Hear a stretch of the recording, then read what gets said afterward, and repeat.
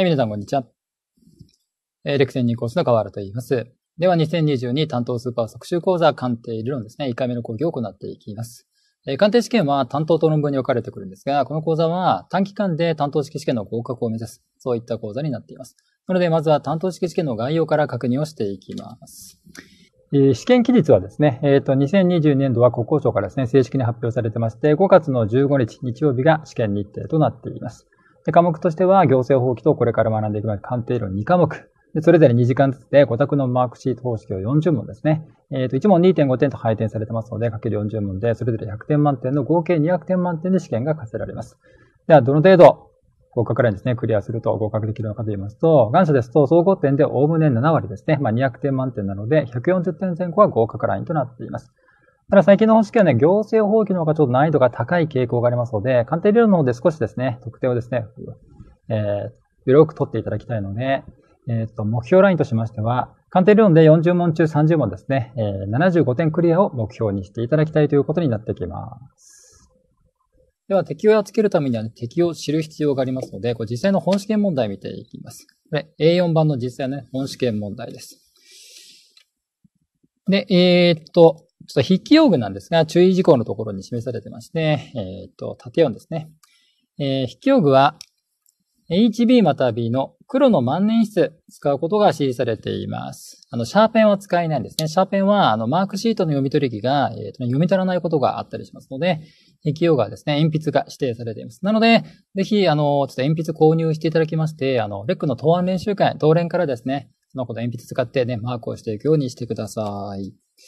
では、えーと、形式を確認していきますね。どんな形式で問題が出されているのか確認していきます。はい。じゃあまず問題に使いまして、問題には、えー、と、選択肢がカッコ1からカッコ5という形で5つの選択肢が与えられてまして、問題文1行目。誤ってるものはどれかという形式でね。誤ってるものもしくはね、正しいものを1つ選ぶ。これ単純正誤問題という形式になっています。続いて、じゃあ問題3使ってみていきましょう。問題3。えっ、ー、と、いからほという形で5つの記述が与えられていて、で、その記述の組み合わせですね。色とか違法とか5つ組み合わせ選択肢として与えられていまして、で、問題文。正しいものをすべて掲げた組み合わせはどれか。正しいものもしくは誤ってものの組み合わせを選ぶ。これ、組み合わせ問題と言ったりします。で、今度問題1見ていきましょう。えっ、ー、と、一定の記述がありまして、その中で、色派という形で空欄穴が開いていまして、その空欄穴に入るべき語句の組み合わせが、ね、5つ選択肢として与えられてまして、正しいものを選ぶ。こういった形式のことをですね、穴埋め問題なんて言ったりします。あとは鑑定理論40問中最後の2問ほどなんですが、では問題40を使いまして、確認していきましょう。えっ、ー、と、こう数字がね、いくつか与えられていて、で、5つの計算結果ですね、選択肢が与えられていて、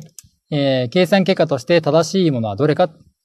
選ぶ問題。これ計算問題と言ったりします。えっ、ー、と、計算問題は、なんか微分とか積分とか、そういった高度な数学が不要です。えっ、ー、と、単純に足し算、引き算、割り算、掛け算で計算できるんですけど、ポイントは、これ電卓を使えないということがポイントです。手計算で計算を行っていかなきゃならない。まあ、40問中最後の2問ほどですので、えー、残りわずかな時間で手計算で計算していかなきゃならない。どうしてもあの、ケアレスミスを起こしやすい。難易度としてはね、高い形式の問題が計算問題ということになってきます。では、この4つの形式が実際の本試験でどういった内訳で出題されていたかと言いますと、えー、令和3年度ですと、単純正誤問題が13問、組み合わせが22問、穴埋め問題が3問の計算問題が2問という形になっています。特にこの組み合わせ問題22も一番多いですね。組み合わせ問題というのは、確実な知識があれば、それをヒントに消去法的に正解を導き出すことができます。なので、戦略としましては、過去問を中心に確実な知識を増やしていくことが、ま、ポイントとなってきます。では、鑑定理論、どういった科目なのか、科目特性説明していきます。鑑定理論の学習内容は、不動産鑑定士が評価するときに判断のよりどころとする不動産鑑定評価基準、略して基準と、その弟分であります留意事項について、単なる丸暗記ではなくて、理解を伴わせて暗記をしていく。そういった学習内容が鑑定理論の学習内容ということになってきます。えー、っと、鑑定理論は担当式と論文式、いずれでも出せる共通科目になってきます。で、論文式、論文式試験というのは、なんか自分の考え方を書くとか、そういった試験じゃなくて、暗記してきた基準理事項を現場で吐き出す、そういった試験です。なので、論文式試験合格するためには、え基準理事項の暗記というのが必須になってきます。一方、担当式試験はマークシートですので、暗記はですね、それほど気にする必要はありません。なので、担当対策としましては、この出題されやすい箇所、まあ、キーワードを中心に問題を通じて理解をしていくということが対策としては重要となってきます。なので、えー、問題を解きながら、まあ、アウトプットをしながら知識をインプットしていく。えー、全体を数多く繰り返す。これ、受験用語で回すって言うんですけど、どれだけ全体を数多く回すことができるかが担当対策としては重要になってきます。時に初期段階はですね、細かいところは気にせずに、どんどんどんどん先に進めていただいて、まあ、大枠をつかむということを意識していただいて、どんどんどんどん先に進めてください。細かいところは何回も回すことによって、4回し目、5回し目、6回し目、あとあと分かってきます。なので、特に初期段階はですね、細かいところを気にせずに、どんどんですね、先に進めるようにしてください。はい。では、教材をちょっと説明していきますね。お手元いくつか教材が届いているかと思うんですけど、まずは、この合格基礎テキストというのがお手元届いていると思います。えこれ講義で使用するメインテキストになっていきます。こちらを使って講義をしていきます。ちょっと形式確認していきましょう。えっ、ー、と、テキスト80ページ使ってちょっと形式確認していきます。はい。80ページ使って、ね、形式確認していきます。で、本文の中で、こう、実践で囲われている部分がありますよね。これが不動産鑑定化基準、基準を表してまして、すぐ下、点線で囲まれているところがあります。こちらが弟分ですね。留意事項を表しています。で、ちょっと横見出して見ていきますと、えっ、ー、と、担当出題年度が並べられていますよね。とともにした、この論文出題年度も示されています。この基本テキストは、担当論文共通の基本テキストということになってきます。次下、効果期24とありますよね。効果期というのは、えー、論文向けの補助教材のことです。なので、あの、担当対策の方はね、こちらちょっと無視するようにしてください。あと、適宜よく見出しコメント欄なんかありますので、重要なコメント欄はですね、指摘をしていきます。まずはこれね、テキスト。講義で使います。効果基礎テキストになってきます。では続いて、えっ、ー、と、手元、このパワーポイント画面集で届いてると思います。これは、こう、今まで見せてきたこのパワーポイントの画面ありますね。こちらを、あの、冊子状態にしたものがこの画面集です。あの、こちら講義で使用しません。復習の際の確認用の教材が、このパワーポイント画面集ということになってきます。で、続いて、えっ、ー、と、足別鑑定理論ですね。上下関というのがお手も届いているはずです。こちらは、えっ、と、令和2年度までの過去問を分野別に一問一答形式に編集した、これ過去問集です。え過去問集になってきます。こちらも講義では使用しないんですけど、これ復習におけるメイン教材がこの足別鑑定理論ということになってきます。ちょっと形式見ていきますと、じゃあ上巻の32、3ページの見開きで確認していきます。えー、上巻32、3ページ使ってね、形式確認していきます。左が問題、右がね、えー、回答ですね。丸抜の一問一答形式になっています。で、左のちょっと問題のところいきますと、読み出しのところにですね、えー、重要、重要度がですね、えっ、ー、と、星一つ二つ三つという形でランク付けされています。星が多ければ多いほど重要で、重要性が高いものになってきまして、で、復習の際には星二つと三つの問題を解くようにしてください。星一つの問題は、これ無視してください。これ過去問集なんで、網羅性の観点から掲載してるんですけど、星一つの問題は、まあ、書いて理解をですね、混乱させるような、そういった難しい内容ですね。ややこうね、えー、没問的な問題ですので、星一つの問題も無視してください。あの、質問とかもしないでくださいね。これも完全に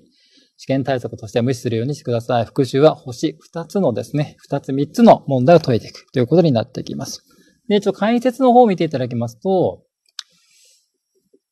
解説の最後にこうテキスト P 何ページですね。これ合格基礎テキストの該当ページが示されています。なので、ぜひ足別を解く際には、しっかり解説を確認した上で、合わせて、このね、合格基礎テキストの該当ページもですね、合わせて確認するようにしてください。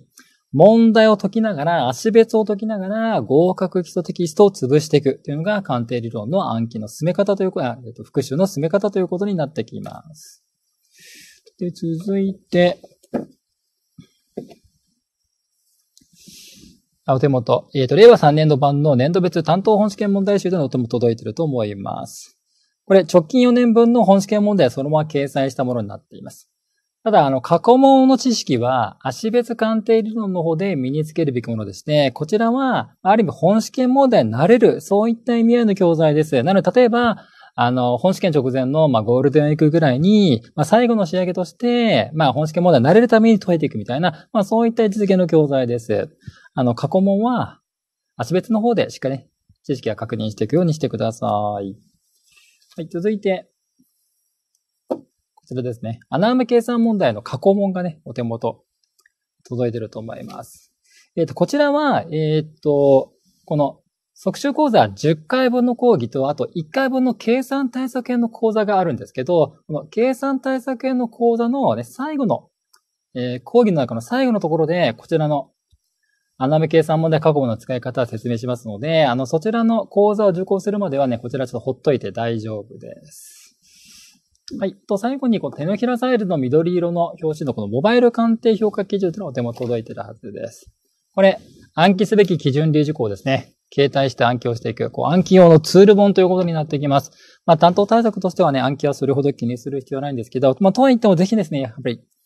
今日からちょっと持ち運んでいただきまして、ちょっと隙間時間でこうペラペラめくっていただきまして、あの少しずつで構いませんので、あの基準理事項のですね、文言にこれで慣れていくようにしてください。ちょっと暗記用のこれツール本ということになってきます。はい。では、鑑定理論の構造を説明していきますね。はい。画面見てください。えっ、ー、と、鑑定理論は大きくですね、総論と格論という形でですね、分かれていきます。えっ、ー、と、総論というのが、すべての不動産共通の考え方を学んでいくのが総論でして、格論というのは、それを踏まえて、個別具体的な案件ごとの求め方をですね、学んでいく。そういったものになっていきます。総論としては1章から9章ですね。格論としては1章から3章。なので、えー、全部で12の章から鑑定理論は成り立っています。で、本試験でどの分野から出題されているかというと、これあの、すべての章から本試験問題出題出題されています。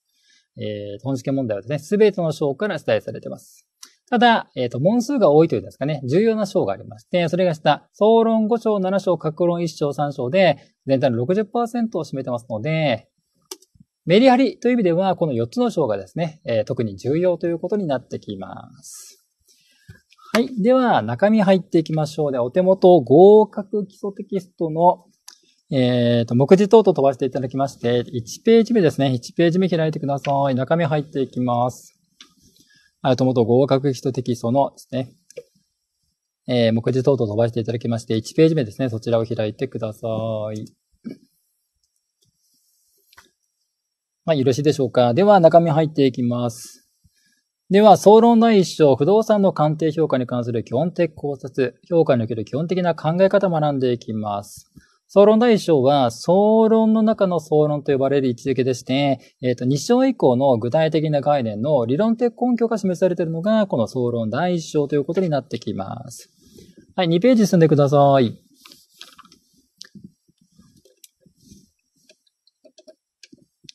はい。で、まずは第一節というところ。不動産とその価格ですね。まあ、客体であります不動産って何だろう不動産の価格ってどういった概念なの？ということを学んでいきます。まずは不動産のあり方という概念について確認をしていきます。では、枠の中基準のところを見てください。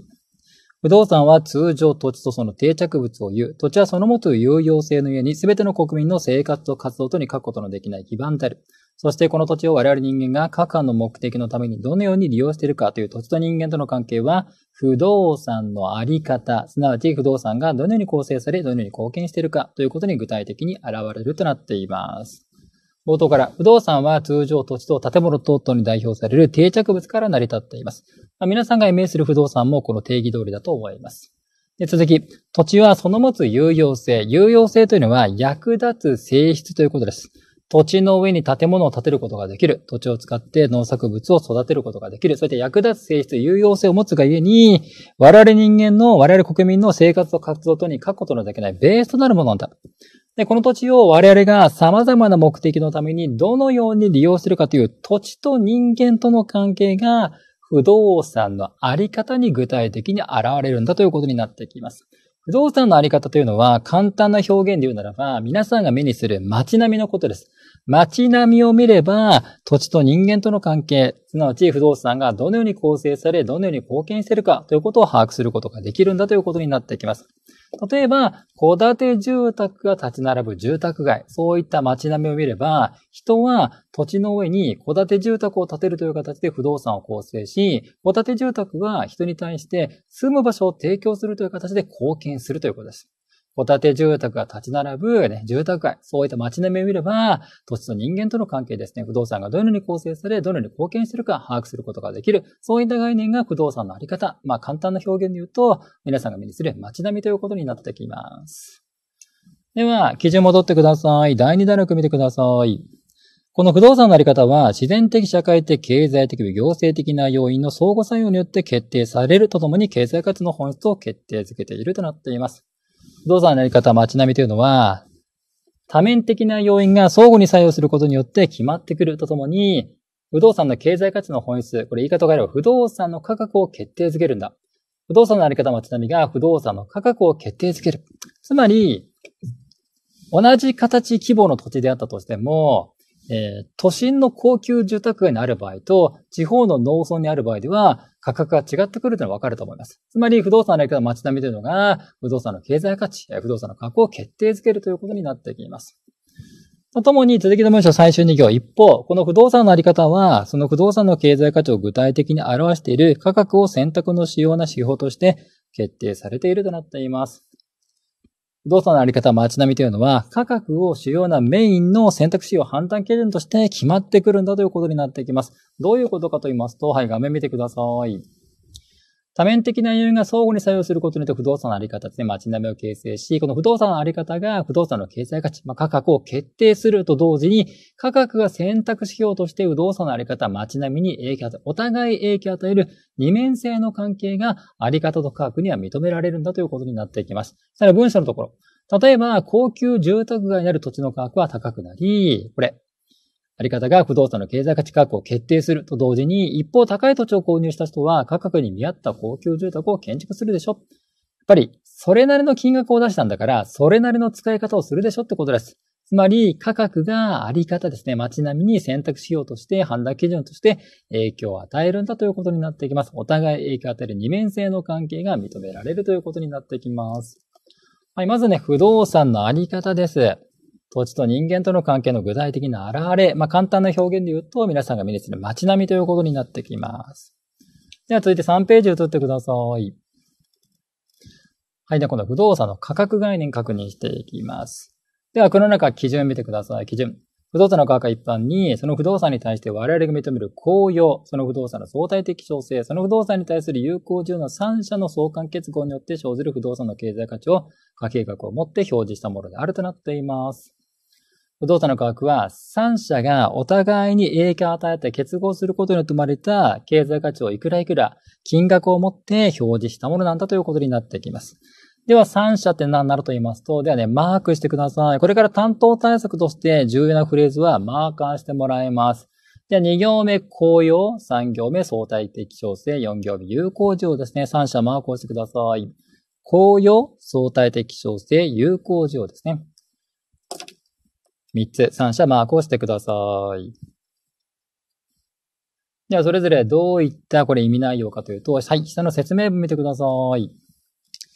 公用というのは2行目、ズバリ役立つことです。公用というのはズバリ役立つことを意味してます。役立たないものでお金は出さないですよね。公用というのはズバリ役立つことです。で、2番目、相対的小定というのは、えっ、ー、と、有限で手に入れるには対価が必要との概念です。相対的小定というのは、有限であって手に入れるには対価が必要との概念です。一方、有効需要というのは、こう単なる需要じゃなくて有効需要なんですけど、購入資金、要はお金を持った買い主がいることをね、有効需要と言います。役立つからこそ有限で手に入れるには対価が必要で、それに対してお金を持った買い主がいるからこそ不動産の価格が形成されるんだ。これが3社ということになってきます。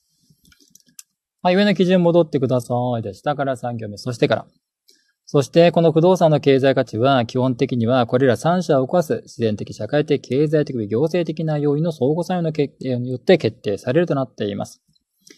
不動産の経済価値は価格は三者を動かす多面的な要因が相互に作用することによって決まってくるんだ。要因サイドから言うならば、多面的な要因が三者を通じて不動産の経済価値価格を形成するんだとの内容ということになってきます。で、この要因と価格には一定の関係が認められまして、では4ページ進んでください。はい、4ページ進んでください。では基準。不動産の価格とこれらの要因との関係は、不動産の価格がこれらの要因の影響のもとにあると同時に選択しようとしてこれらの要因に影響を与えるという二面性を持つものであるとなっています。はい、その図のところを見てください。えー、多面的な要因が3者を通じて不動産の経済価値価格を形成する要因の影響下に価格があると同時に、えー、価格が選択しようとして要因にも影響を与える。お互い影響を与える二面性の関係が要因と価格には認められるんだということになっていきます。下の文章のところ。例えば、不動産の取引に関する規制が緩和されると、これ要因のうち行政的要因です。一般に不動産取引が増加し、不動産の価格は上昇する。価格が要因の影響下になると同時に、不動産の価格があまりにも急騰してしまった場合、不動産の取引に関する規制を強化する政策が取られる。まあ、価格が要因に影響を与える。お互い影響を与える二面性の関係が認められるんだということになってきます。はい。では5ページ進んでください。では次で第2節。不動産とその価格の特徴ですね。不動産ってどんな特徴があるの？じゃあ不動産の価格ってどんな特徴があるのを学んでいきます。まずは不動産の特徴、特性を理解する前提として、不動産を構成する基本的な要素であります土地の特性を理解する必要があります。それが、下黒帯タイトル、自然的特性、人文的特性ですね。これ土地の特性ということになっていきます。では、基準の4行目、カッコ1というところから見てください。各一、自然的特性として、地理的位置の固定性、不動性、非移動性、永続性、普遍性、不増性、個別性、非動性、非大定性等を有し、固定的であって硬直的である。過去に、人部的特性として、用途の多様性、用途の競合、添加部、併存の可能性、非営業部、分割の可能性、社会的部、経済的位置の可変性等を有し、可変的であって伸縮的であるとなっています。はい、マーカーしてください。じゃあ4行目。自然的特性。で、一行開けて、固定的、硬直的。で、できれば色変えていただきまして、対比的に、過去のところ、人文的特性。で、一行開けて、可変的、伸縮的ですね。対比的にマークをしてください。自然的特性で固定的、硬直的。対比的に人文的特性で可変的、伸縮的ですね。マークをしてください。では、土地というのは、固定的で硬直的な自然的特性と、可変的で伸縮的な人文的特性、相矛盾する特性を有しているんだということになってきます。で、具体的に自然的特性としては5つ、人文的特性としては3つですね、挙げられていますので、それぞれごとに確認していきます。はい、その説明文を見てください。そもそも自然的特性というのはタイトル横、土地そのものが有する本来的特性のことを自然的特性と言います。で、丸一、地理的位置の固定性、不動性、非移動性。本文、土地の地理的位置は固定しており、そうですね。えー、例えば、今これ収録している東京中野区にあるね、レック本、レック本社ビルなんですけど、例えば北緯何度、統計何度という形で位置が決まってますよね。これ地理的位置の固定性です。で、続きましょう。ここの土地を他の場所へ移動することは不可能であるとなっています。えっ、ー、と、このレック本社ビルがあるですね、土地ですね、東京にある土地を、例えば九州に持ち帰ることができるかというと、できるかというと、できないわけですね。だからこそ不動産というわけですね。そのことが、えー、これ、不動性、非移動性との特性ということになってきます。で、丸に永続性、普遍性です。土地は使用しても消耗し、枯渇することはなく、朽ちることもないんだということになってきます。単位的に建物というのは使い続けると経年劣化して最終的には壊れてしまうんですけど、土地というのは使用し続けても消耗を枯渇し、朽ちることはないんだ。永続性、普遍性と言います。で、6ページ。不造性ですね。丸さん不造性本文。日本の国土面積や埋め立て等により多少の変化が考えられるものは全体量として大きく増減することはないんだということになってきます。例えば一般材、こういったフリクションマーカーですね。えー、人気が出てきた場合には増産体制を整えて、こう増やすことができるわけですね。一方で、例えば東京の高級住宅街、田園調布の人気が高まってきました。では、田園調布の土地を埋め立てによって作ることができるかというと、できないわけですね。まあ、そういった性質のことを不動性と言います。マリオン、個別性非同性非代替性です。本文。ここの土地は他の土地と区別されるべき性質という人より、全く同一の土地というものは二つと存在しないんだということになってきます。えー、っと、土地というのは物理的な意味において同質な代わりになるものはないんだとの性質が個別性ですね。非同質性、非代替性と言います。この非代替性という表現ですね。あの、4章でこれと関連する議論をですね、学びますので、ぜひこの非代替性というフレーズはですね、ちょっとね、覚えられ、覚えておいてください。また4章でこれと関連した議論ですね、出てきます。はい、続いて下、人文的特性見てください。人文的特性というのはタイトルこう。人間と土地との関係から生じる特性ですね。まあ、人が働きかけをすることによって生まれてくる特性が人文的特性ということになってきます。丸一、用途の多様性、用途の競合変転換、併存の可能性です。ある土地について用途が競合商業地と住宅地と転換農地から出宅地と、及び併存、店舗付きマンション等シールとなっています。やっぱりこういった一般の財、フリクションマーカーですね。こういった一般の財は、基本的に一物一用途ですね。これはマーカーするって用途ぐらいしか考えられないんですけど、土地というのは人が働きかけすることによって様々な用途が考えられるんだ。との特性が用途の多様性ということになってきます。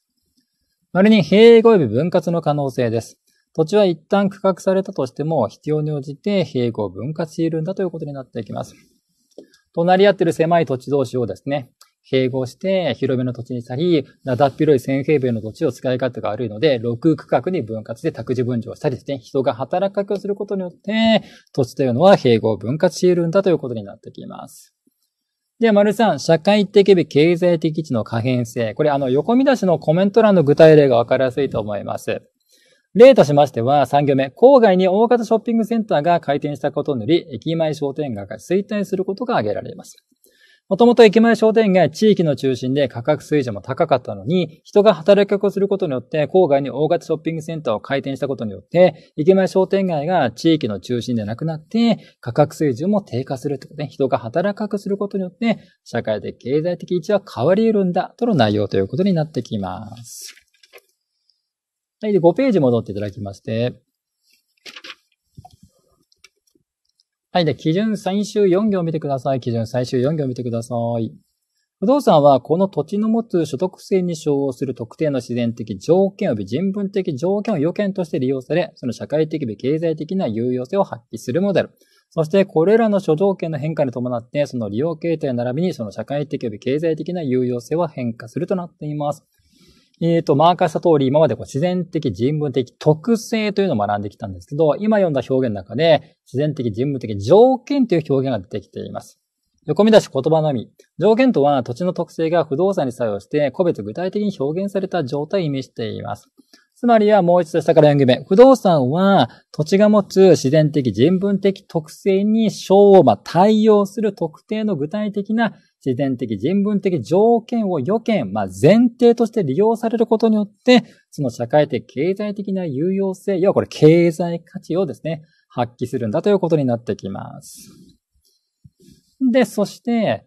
前提とするその助条件が変化すると、利用形態だったり、社会的、経済的な有用性、まあ、経済価値は変化するんだ、との内容ということになってきます。これ土地の特性ですね。自然的、人文的特性です。続いて、不動産の特性のうちでは6ページ。はい、不動産の地域性という概念を学んでいきます。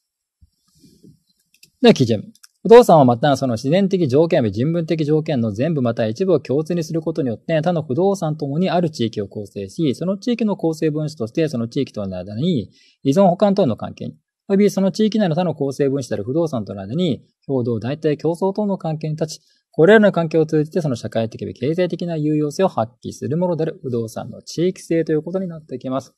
不動産というのは、こう一匹狼的に価格が形成されるものではなくて、7ページ、この図のところを見てください。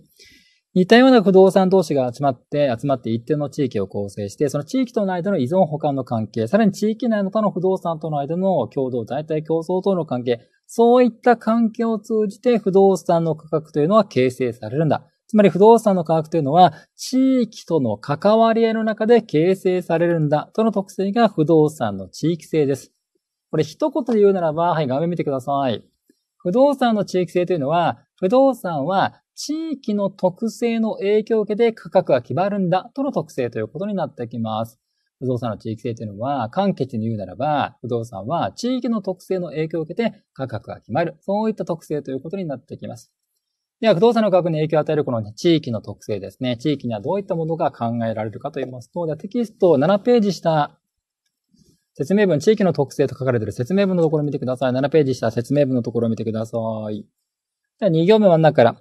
自然的条件を共通にして構成される武蔵野大地、最上川流域等といった地域や行政に区画される東京都、8ページ。大阪府等の地域は考える。また、日常生活品の小売店舗を中心として構成される〇〇駅前商店街といった地域等も考えられる。このように地域を分別して認識する場合、その把握の観点の違いによって、地域には種々のものが考えられ、一般に不動産は異なった観点から把握される地域に重なって属しているんだということになってきます。じゃあ最終2行マークをしてください。一般に不動産は異なった観点から把握される地域に重なって属しているというところをマークをしてください。一般に不動産は異なった観点から把握される地域に重なって属しているんだということになってきます。例えば今これ収録している東京のね、えー、っと、中野にありますレック本社ビルですね。では、えー、こう自然的環境という観点からすると、このレック本社ビルは、あの、関東平野に属しています。えっ、と、行政区画という観点からすると、このレック本社ビルは、東京23区内、中野区内というところに属,、ねえー、属しています。えっ、ー、と、交通体系という観点からすると、あの、東京はこうね、東西に中央線というのが走ってるんですけど、これ中央線沿線沿いですね。えっ、ー、と、不動産というのは様々な観点から地域にこう重なって属してるですね。そういったね、特徴を有しているんだということになってきます。はい。まずは、不動産の特徴ですね。土地の特性、さらには不動産の特徴、不動産の地域性ですね。確認することができました。じゃ一旦ここで切っておきます。はい。以上をもちまして、第1ユニット講義の方を終了いたします。はい。で、第2ユニット5に進めていきましょう。で、テキスト8ページ開いてください。では続いて今度不動産の価格の特徴ですね。全部4つあるんですけど、えー、4つの価格の特徴を確認していきます。では8ページ下、括弧1というところを見てください。不動産の価格の特徴の1番目確認していきます。8ページ下、括弧1というところを見てください。では、基準。不動産の経済価値は一般に、交換の対価である価格として表示されるとともに、その溶液の対価である賃料として表示されます。えー、不動産の経済価値は、交換や売買、手に入れることの対価であります。価格として表示されるとともに、その溶液、これ、使用収益の略です。要は、借りることの対価である賃料としても表示されるんだということになってきます。で、この価格と賃料には根本的な違いがありまして、9ページ上説明文のところを見てください。はい、まずは価格から。価格というのは、不動産の価格は、不動産が存続する全期間にわたって使用収益できることの対価価格です。価格、売買、手に入れることの対価。手に入れたならば、一生も自分のものとして使用収益することができる。つまり価格というのは、不動産が存続する全期間に対応した価値概念です。1行目、全期間マークをしてください。全期間、マークをしてください。価格というのは、不動産が存続する全期間に対応した価値概念ということになってきます。単位的にした賃料。不動産の賃料は上記全期間のうち一部の期間において使用収益できることの対価が賃料です。はい、じゃあ一部の期間というところですね。マークをしておいてください。一部の期間、マークをしてください。えっ、ー、と、皆さんアパート、マンションとか借りて、こう、月額の賃料を払ったりすると思うんですけど、それは1ヶ月間使用収益できることの対価として賃料を払ってるはずです。つまり、賃料というのは、存続する全期間のうち、一部の期間に対応した価値概念が賃料ということになってきます。価格賃料の根本的な違いは、前提とする期間が全期間なのか、一部の期間なのか。これが根本的な違い。この違いが様々な議論で理論的根拠になってきますので、この違いをですね、しっかりと理解をしておいてください。で、この価格と賃料には一定の関係が認められまして、もう一度8ページした基準のところ戻ってください。はい。で、基準2行目最後、そしてから見てください。そして。そして、この価格と賃料との間には、いわゆる元本と果実との間に認められる相関関係を認めることができるとなっています。はい、マーカーしてください。下から2行目。元本と果実との最終行、相関関係というところをマークをしてください。元本と果実との相関関係マークをしてください。価格と賃料との間には元本と、まあ、利子のようなものですね。利子のような果実との相関関係を認めることができるんだということになってきます。えー、具体的には、えっと、9ページ、この時系列的な図を見てください。要は、全期間に対応した元本である価格が上昇したならば、一部の期間に対応した果実であります賃料も上昇するでしょということです。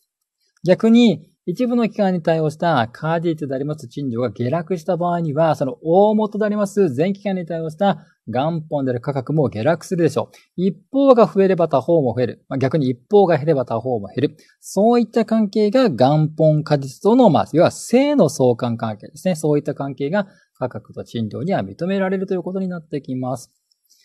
なので、そういった関係が価格と賃料には認められるのでした。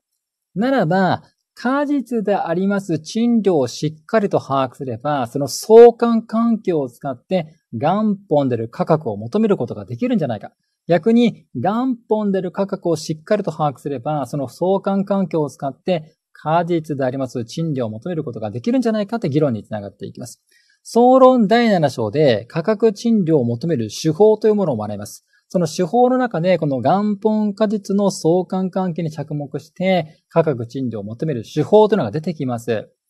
で、その7章で元本果実の相関関係に着目した手法を学んだときに、必ずこの9ページ、価格の特徴の一番戻ってきますので、戻ってきたときに思い出すことができるように、あ確か1回目の講義で、なんかこの元本果実の相関関係に着目して、価格だったり賃料を求める手法があるんだなって言ってたなってぐらい思い出せるようですね、しといてください。これ、価格の特徴のまずは1番ということになってきます。では、10ページ。価格の特徴の2番確認していきます。はい、じゃあ、括弧2というところを見てください。不動産の額また賃料は、その不動産に関する所有権、賃借権等の権利の対価、また経済的利益の対価であり、また2つ以上の権利利益が同一の不動産の依存する場合には、それぞれの権利利益についてその額また賃料が形成されうるとなっています。じゃあ最後、売るというところをマークをしてください。形成されうるの売るですね。売るというところをマークをしてください。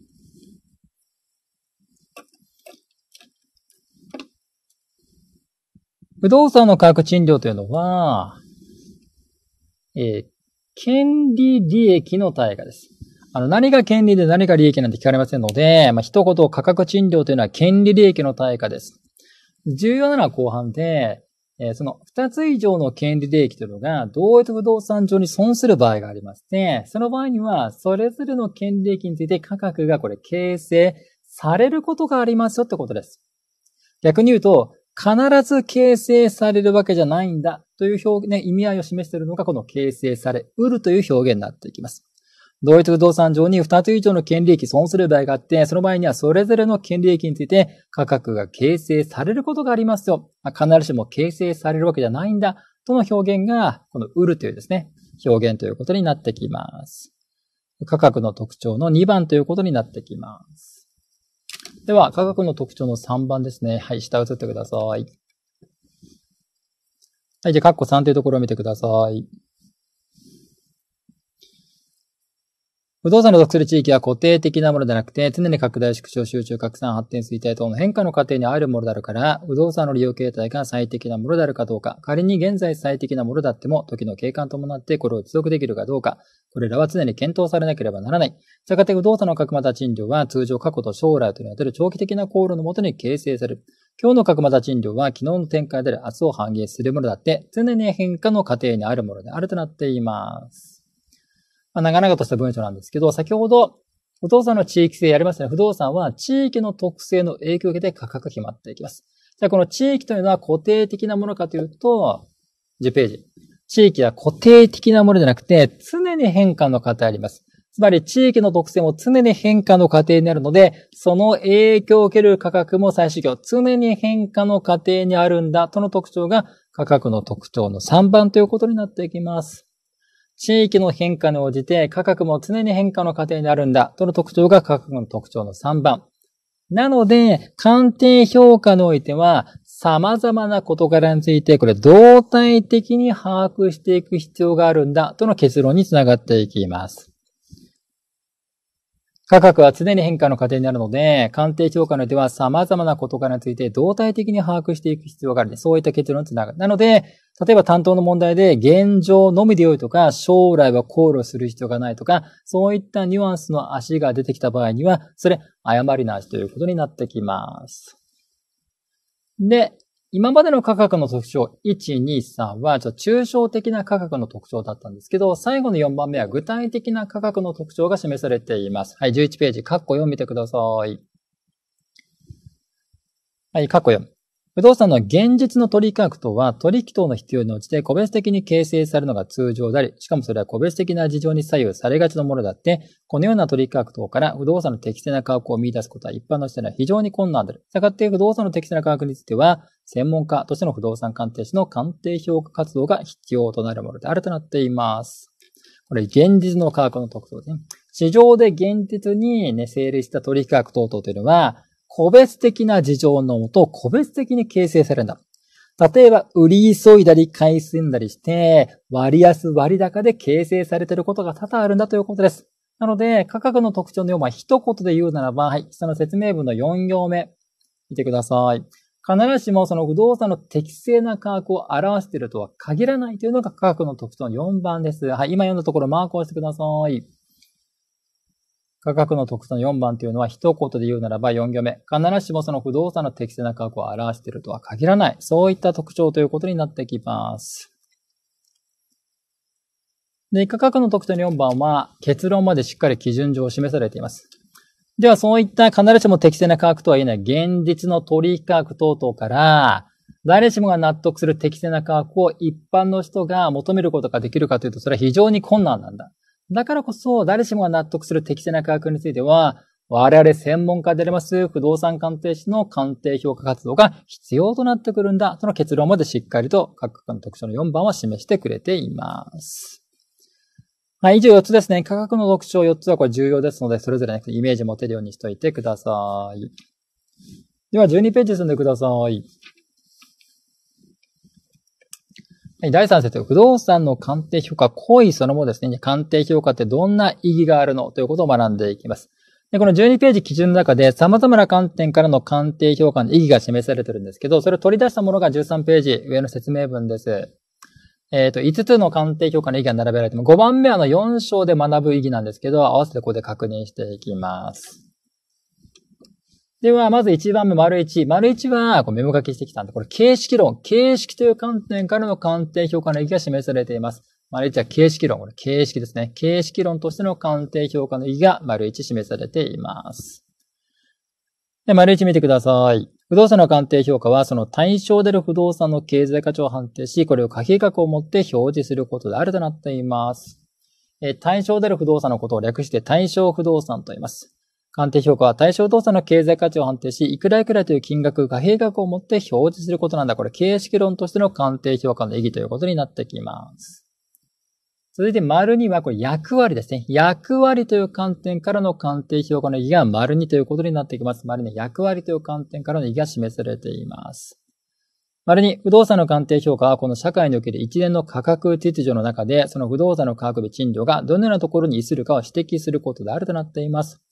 世の中にはお米一票いくら、車一台いくらみたいに一連の価格秩序がありまして、その中で価格賃料が示すですね、位置づけを指摘する、そういった役割を持っているのが鑑定評価なんだ、との意義が、丸2の役割という観点からの意義ということになってきます。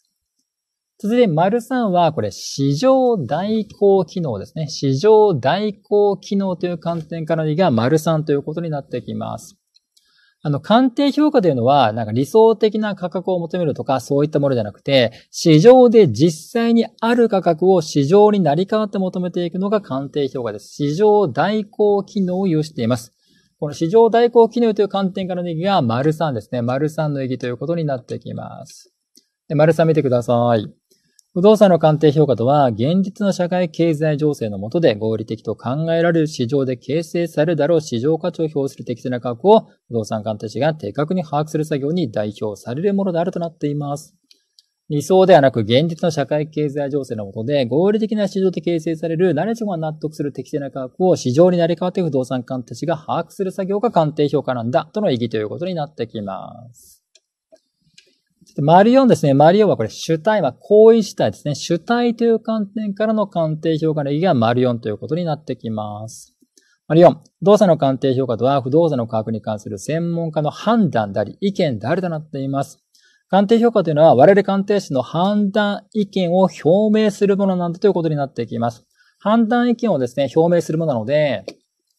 同じ不動産について同じ依頼目的条件で複数の鑑定士に評価を依頼して求められた鑑定評価が異なってきたとしても、この異なること自体は全く問題ないんだということになってきます。鑑定評価というのはそれぞれの鑑定士が判断、意見を表明するものなので、同じ不動産について別々の鑑定士に同じ依頼目的条件で評価を依頼して、で、求められた鑑定評価額がね、それぞれ異なった金額であったとしても、そのこと自体は問題ないんだということになってきます。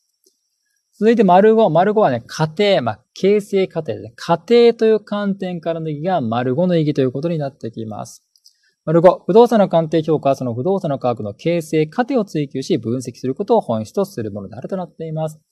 丸3で鑑定評価の市場代行機能、市場になり変わって求めていくのは鑑定評価。なので、鑑定評価というのは丸5ですね。市場での価格形成過程を追求、分析することを本質とするんだ。との意義ということになってきます。はい。では、14ページ進んでください。では、第4節、不動産鑑定士の責務ですね。鑑定士に課せられている責任義務、責務を確認していきます。えっ、ー、と、これ責務3つのブロックから成り立ってまして、まずは第1ブロックは4行目もです。第1ブロックは4行目までが第1ブロックで、では第1ブロック、どのような観点からの責務が示されているかというと、では1行目、法律マークしてください。土地基本法という法律マークしてください。1行目、土地基本法をマークをしてください。第1ブロックは、土地基本法からの要請責務が示されています。土地基本法、これもう一方の方の科目、行政法規で学ぶ法律です。バブルの頃にできた法律でして、例えば2行目、特に投機的取引の対象されてはならない、こういった基本理念が示されているのが土地基本法です。なので、鑑定士もそういった基本理念を踏まえて評価を行わなければならないんだ、との責務が第1ブロックということになってきます。続いて第2ブロックは5行目から下、括弧1っていうところがあって、その2行ほど前にさらにってところがあります。その前までです。第2ブロックは5行目からさらにの前までが第2ブロック。では第2ブロック、どのような観点からの責務が示されているかというと、では6行目、やっぱり法律名マークをしてください。不動産の鑑定評価に関する法律、マークをしてください。不動産の鑑定評価に関する法律、マークをしてください。やはりこちらの法律も行政法規で学ぶ法律なんですけど、この不動産の鑑定評価に関する法律で、鑑定士は専門家としての地位が認められているので、地位に見合った責務を負うでしょってことです。例えば誠実な評価をもってして、社会一般の信頼と期待に報いなければならないとかね、そういった地位に見合った責務を負いなさいとの内容が、第2ブロックです。で、この第2ブロックの中で試験対策上重要なのが、守秘義務です。鑑定士にも守秘義務が課せられています。それが、さらにというところの上2行ですね。正当な理由がってところから見てください。正当な理由がなくて、その職務上取り扱ったことについて知り得た意味と他に漏らしてはならない。これは鑑定士に課せられている守秘義務です。では、正当な理由がなくてところマークをしてください。正当な理由がなくてというところマークをしてください。生徒がなくて知り得たことを示してはならない、そういった周義務です。なので、いくら依頼者からの要請であったとしても、正当な理由がなければ、それね、知ったことを示すことができませんし、逆に正当な理由があればいいので、いかなることからも示してはならないというのも、それは誤りなしということになってきます。で、第3ブロックがさらに以降でして、第3ブロックは、え今、皆さんが学んでいる不動産鑑定基準、まあ、基準からの要請ですね。守るべき5つの遵守事項が、ね、並べられています。例えばじゃあ、カッコに見てください。カッコに。依頼者に対して鑑定評価の結果を分かりやすく、誠実に説明を行えるように努めなければならないとの内容です。こう説明責任が示されていたりします。カッコさん見てください。カッコさん。不動産の鑑定評価にあたっては、事故または関係の利害のむその他、いかなる理由に関わらず公平だとの態度を保持することとなっています。まあ、鑑定業界で問題視されているのが依頼者プレッシャーとなります。依頼者からプレッシャーを受けて、なんか安い金額で鑑定評価を出してくださいってね、プレッシャーを受けて、で、それにね、迎合してしまって、安い鑑定評価を出してしまって、不当鑑定みたいな問題がね、結構ね、あります。えー、確かに報酬をもらうのは依頼者からなんですけど、あくまで鑑定評価というのは、いかなる理由にかかわらず、常に公平妥当な態度を保持して、誰しもが納得する適正な価格を求めていくのが鑑定評価です。依頼者のために評価を行うものではありません。確かに報酬をもらうのは依頼者なんですけど、事故または依頼者等々の利害の有無、その他いかなる理由に関わらず常に公平妥当な態度を保持して、誰しも納得する適正な価格を求めていくのが鑑定評価なんだということになってきます。じゃあ、括弧読めてください。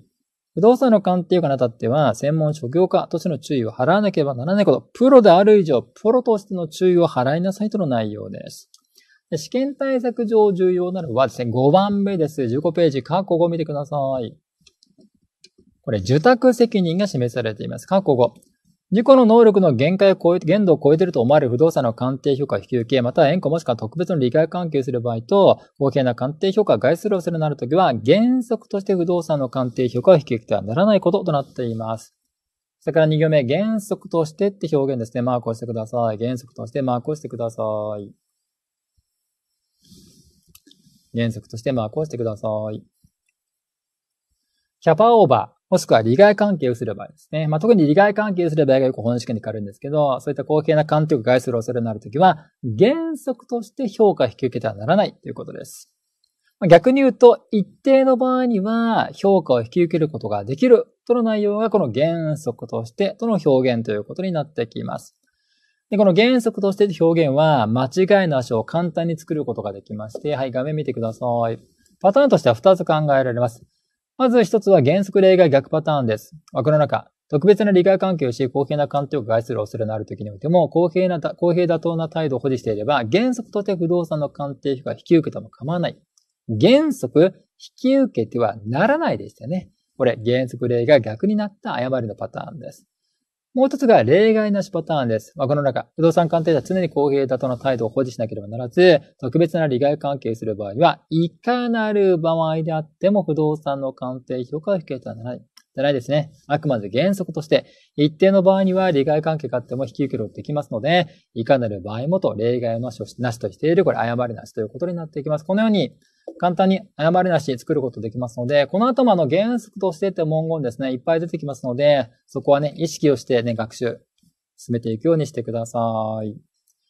はい。以上、総論第一章です。ちょっと総論、総論第一章というのは、抽象論で、なかなかちょっと理解が難しいところなんです。で、あの、日章以降の具体的な概念を学んだときに、こう一章に戻ってきますので、戻ってきたときに、ああ、こんなことやったなと思い出せるようにしとくのが、一章の復習の到達点ということになってきます。はい。では続いての章を移っていきましょう。17ページ進んでください。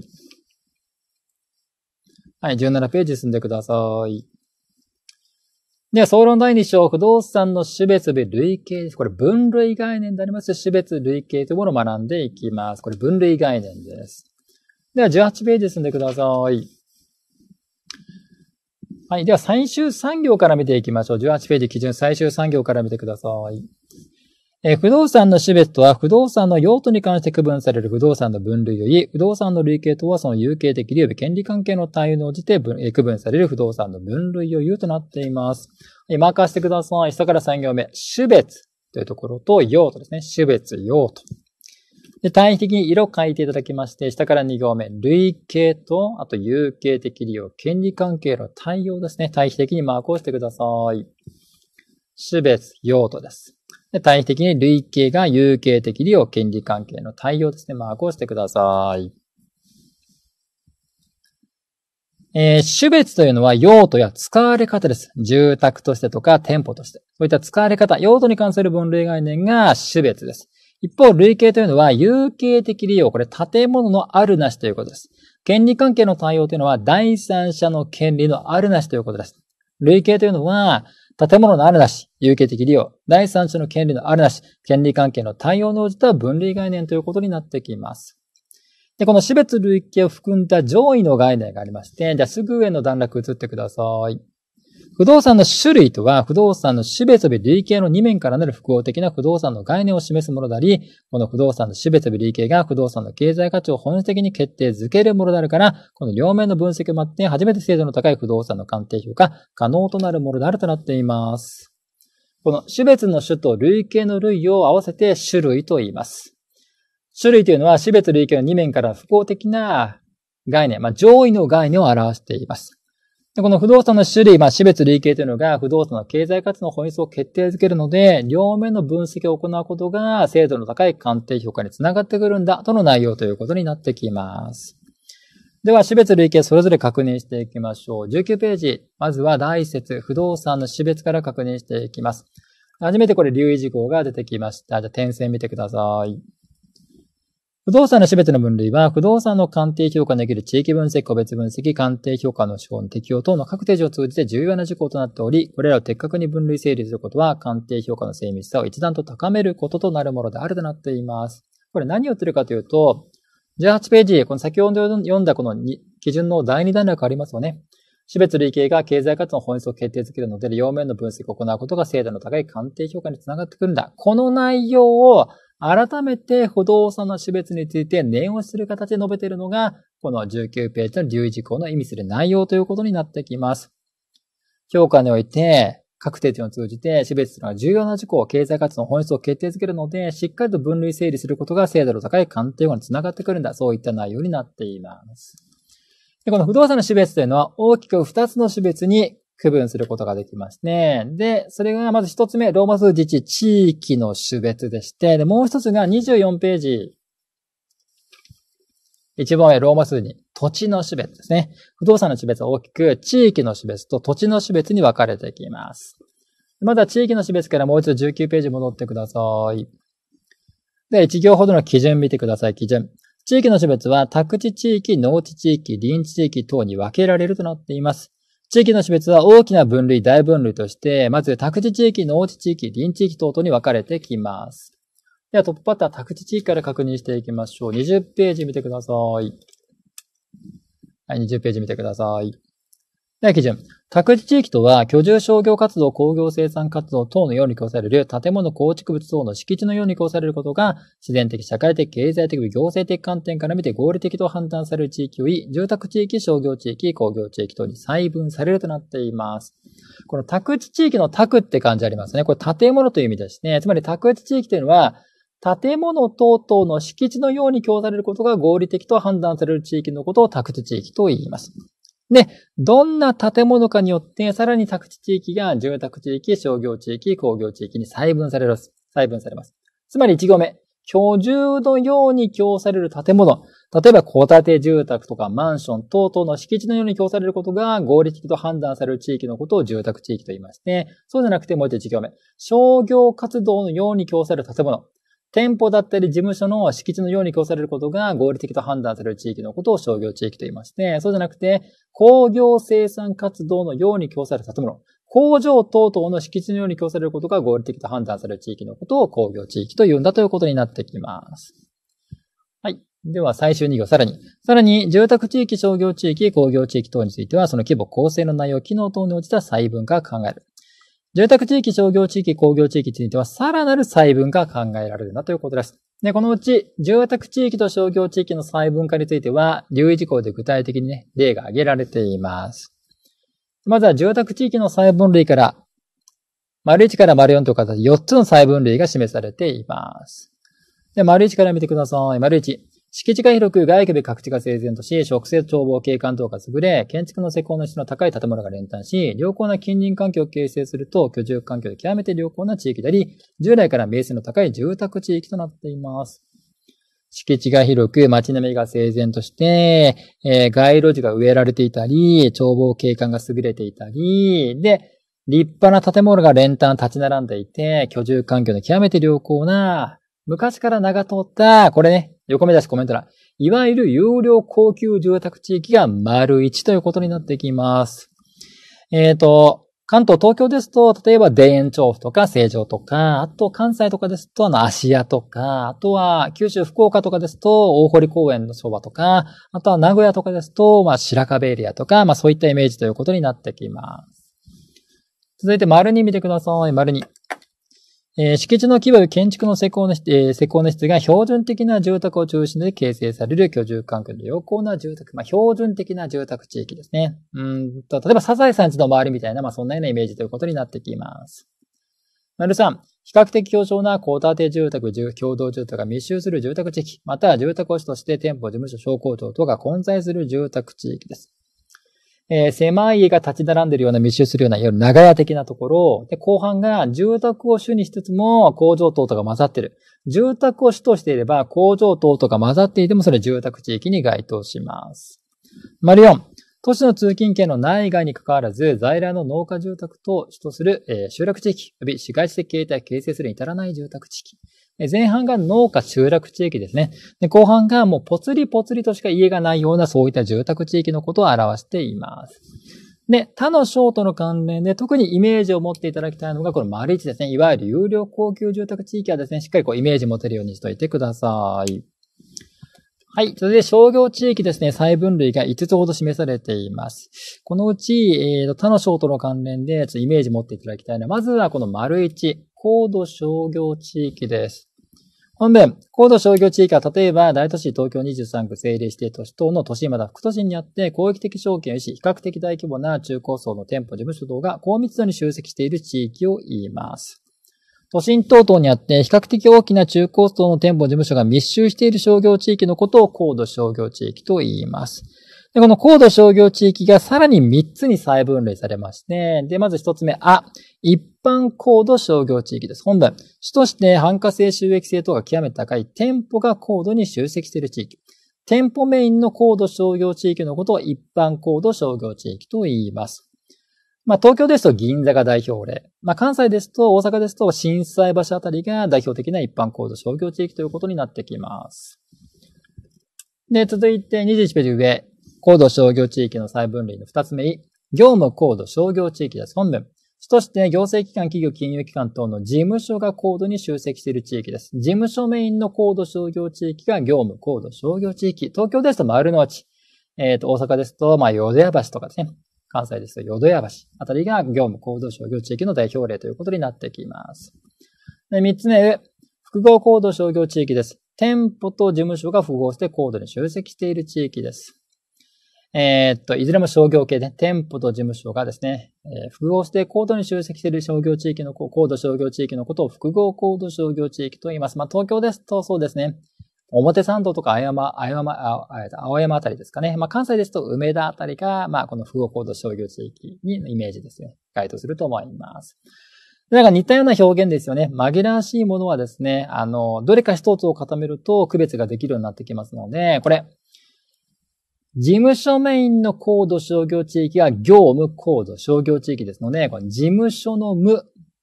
丸していただきまして、で、業務高度商業地域の無ですね。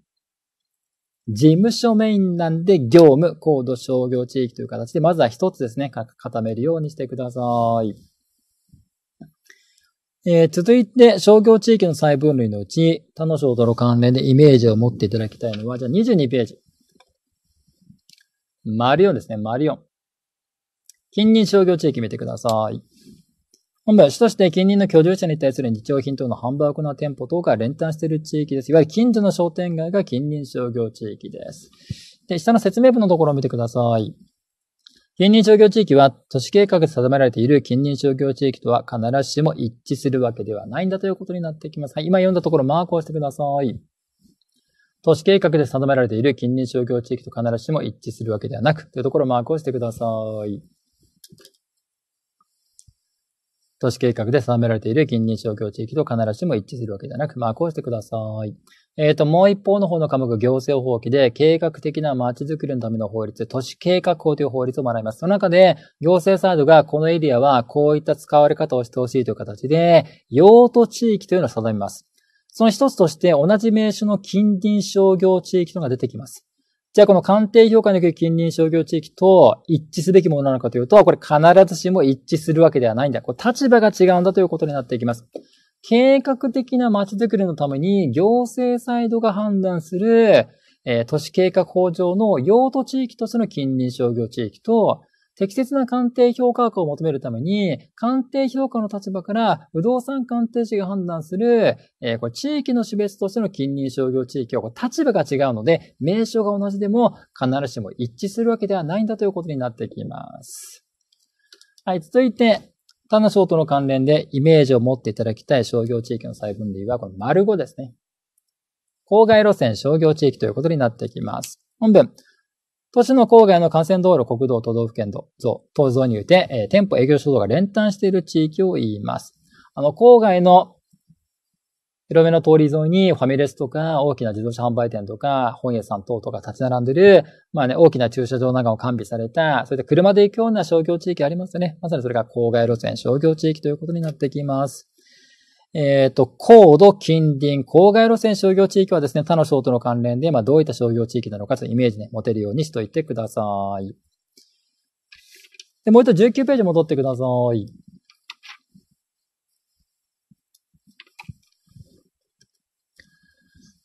はい。用途に関する分類がね、不動産の種別のうち、また地域の種別。地域の種別は大きな分類として、宅地地域、農地地域、臨地地域に分かれていきます。まずは再分類も含めて、宅地地域一通り確認しますので、残り農地地域、臨地地域ですね、簡単に触れていきます。